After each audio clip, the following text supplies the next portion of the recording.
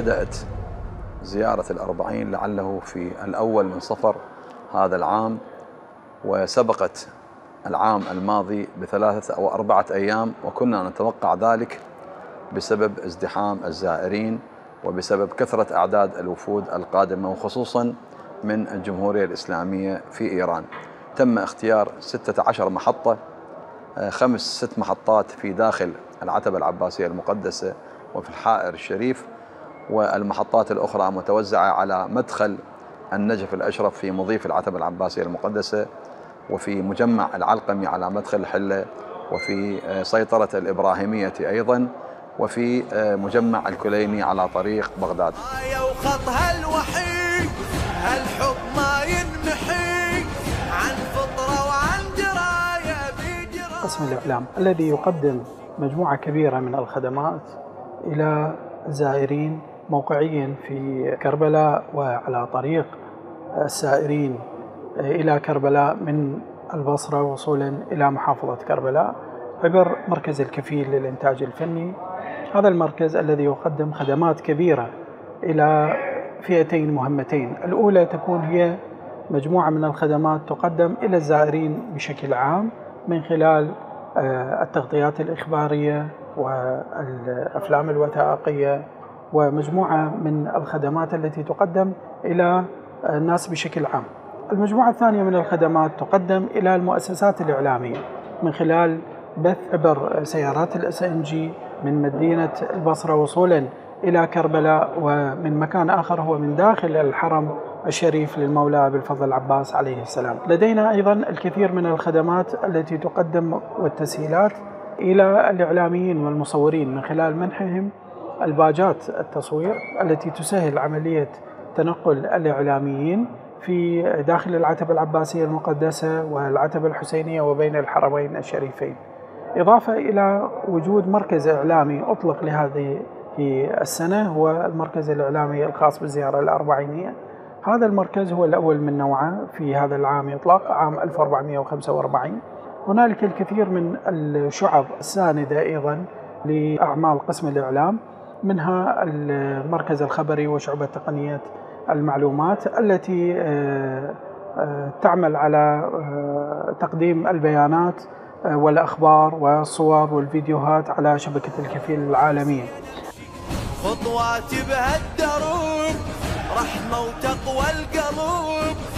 قسم المضيف في كل عام يعني نقوم بالاستعدادات قبل فترة طويلة من الزيارة. يعني من بداية شهر محرم الحرام. هذه الزيارة المليونية آه، يقتصر قسم المضيف آه، على التوزيع المجاني.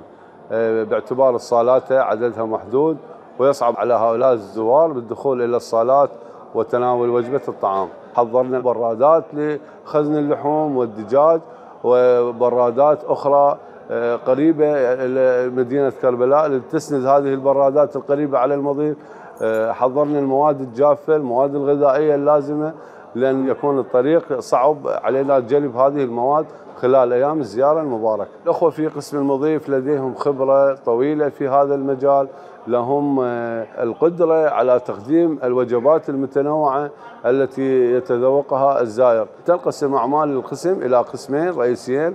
القسم الأول هو التوزيع المجاني في هذه المحورين الذي أشرت إليهما والجانب الثاني هو التوزيع الوجبات إلى الأخوة المنتسبين في العتبة الذين يدخلون في حالة الإنذار والأخوة المتطوعين الساندين للمنتسبين. فيصل مجمل الأعداد إلى مئة ألف وجبة أو أكثر خلال اليوم الواحد. هيك أيام وليالي شفت الحب المثالي.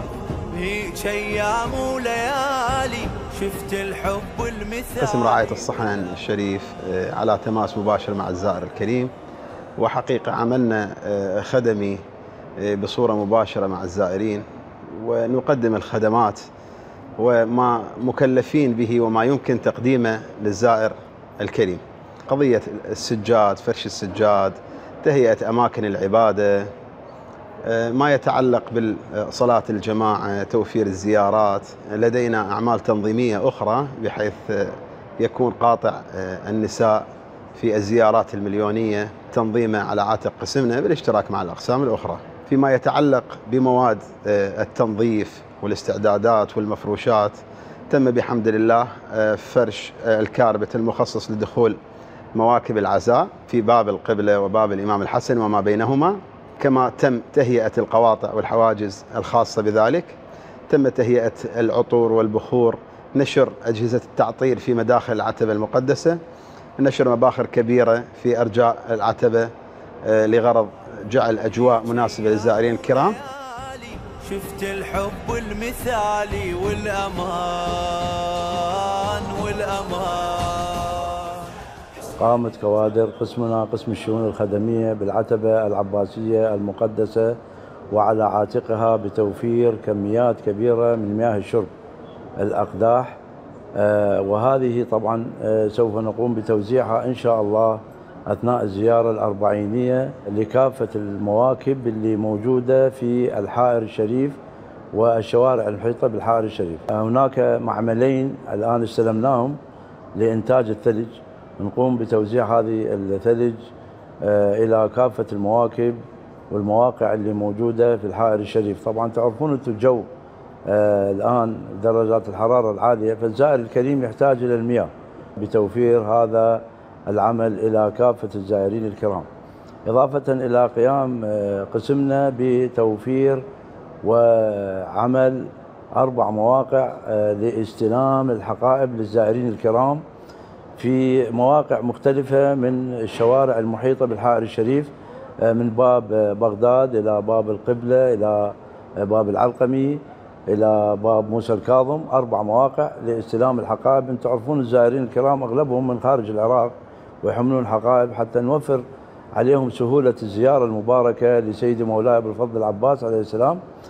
وفرنا هذه الأماكن لاستلام الحقائب حتى يكونون في سهولة ويسر في زيارة سيدي مولاي أبو الفضل العباس عليه السلام.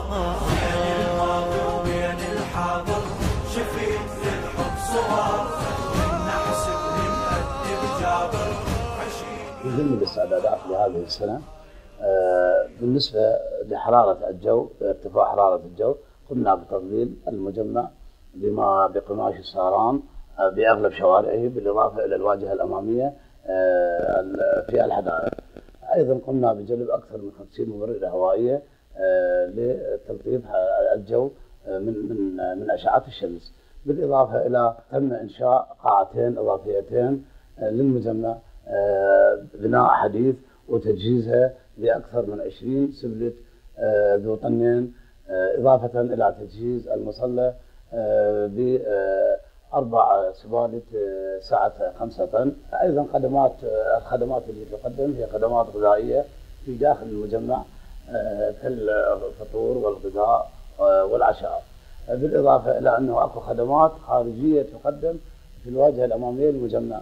هي كالصحة يعني علاجات طبية بالإضافة إلى علاجات خدمية مثل توزيع الماء والشاي والفواكه بالإضافة إلى العصائر آه، في هذه السنة مطلوب العصائر باعتبار درجات الحرارة مرتفعة مني يطيح الدميع راية حب ترتفيع وإحساس آه، حقيقة استنفرت الأكاديمية جهود ملاكاتها آه، من مسعفين ومدربيها على جانبين وشقين. كان الجانب الأول هو تدريب وتجهيز متطوعي الأكاديمية في عدة محافظات عراقية منها بغداد وواسط والبصرة وذي قار.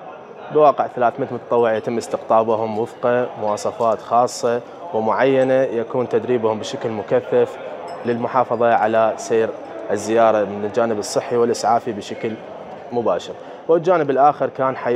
في إقامة برنامج الإخلاء الطب الطارئ المعني بإسعاف ونقل الحالات وتفويجها لأقرب آه، مركز صحي ومستشفى. آه، حقيقة آه، قاطع ال- المسؤولية لأكاديميتك في الإسعاف والتدريب الطبي منتشر في منطقة ما بين الحرمين الشريفين والحائر المقدس وشارع قبلة العباس سلام الله عليه والمقام الشريف. بجفوف الغيرة من انشالت رايتنا لحسين الغالي على الموعد طلعتنا. طيور المشاية وقاع الطاف واحتنا ويخضر زاير وفاي بنزلتنا. هاي القصة اليوم وباكر